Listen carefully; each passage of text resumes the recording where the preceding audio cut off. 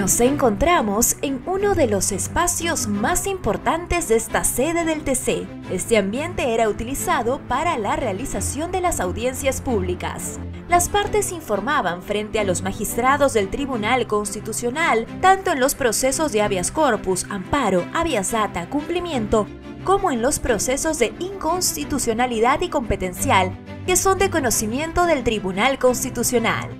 En este lugar se llevaron a cabo audiencias sobre casos emblemáticos para la justicia constitucional del Perú, como las sentencias antiterroristas, las que buscan proteger a las comunidades indígenas y nativas, las que han protegido a los fonavistas, a los pensionistas, la educación rural, salud o la libertad de las personas. En las paredes laterales se aprecian los retratos de los 14 magistrados que en diferentes periodos asumieron el cargo de presidente del Tribunal Constitucional, cumpliendo por lo general un mandato de dos años.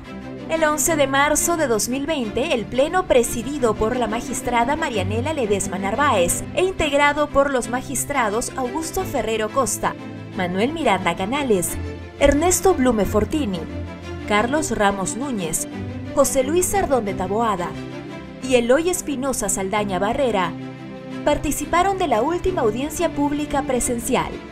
Posteriormente, se declaró el estado de emergencia en el país como consecuencia del COVID-19. A continuación, te invitamos a recordar un extracto de la última audiencia que se celebró en esta sala. Audiencia pública para programada para hoy miércoles 11 de marzo del año 2020. Señor secretario relator, de cuenta de las causas programadas para la fecha. Causa número 1, expediente 429-2015, proceso de amparo, iniciado por don Concepción Alfonso de Lama Villar contra el Consejo Nacional de la Magistratura. Por la parte demandada, ha solicitado el uso de la palabra el abogado Piero Rojas Silva en representación de la Procuraduría Pública de la Junta Nacional de Justicia. Abogado de la parte demandada, puede hacer uso de la palabra. Hasta la fecha no se, no la han podido... o sea, no se ha podido materializar porque nunca apareció. Sí. De acuerdo. Es todo por mi parte. Gracias. Queda el voto. De cuenta de los siguientes eh, causas. Dígame, señor. Presidenta, no hay más causas sobre las cuales dar cuenta. Ya, muy bien. Este, vista la causa, eh, quedan al voto.